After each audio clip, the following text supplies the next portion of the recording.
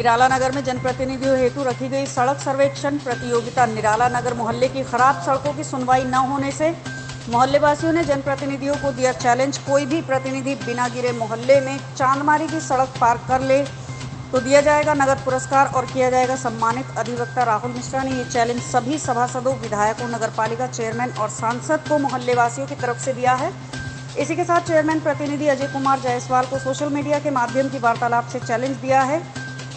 अजय जायसवाल जी को 22 जुलाई तक इस प्रतियोगिता में शामिल होने का मौका दिया गया है। मोहल्ले वासियों की उम्मीद है कि इसी प्रतियोगिता के बहाने इस खराब सड़क का सर्वेक्षण हो जाएगा। अब इस प्रतियोगिता में कौन जनप्रतिनिधि शामिल होता है, इसका इंतज़ार सभी को है। मैं नितिन मिश्रा, निराला नगर, और आप देख सकते हैं अभी यहाँ पे कितनी सड़क ख़राब है। अभी अभी सुबह यहाँ से कार निकल रही थी तो फंस गई, उसके बाद उसको ट्रैक्टर से निकलवाना पड़ा। यहाँ पे ये आए दिन होता है, स्कूल जाते बच्चे गिरते हैं, महिलाएँ गिरती हैं।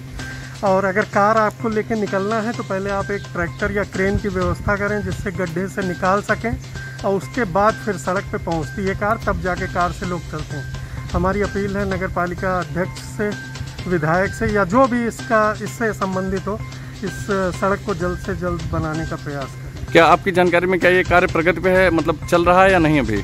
हमारी जानकारी में तो रुका हुआ है। कार्य मैंने अभी इसे बनते नहीं देखा, सिर्फ़ सुना है कि बनने बनेगा, बन रहा है, लेकिन अभी तक इसे सच में देखा नहीं है बनते हुए।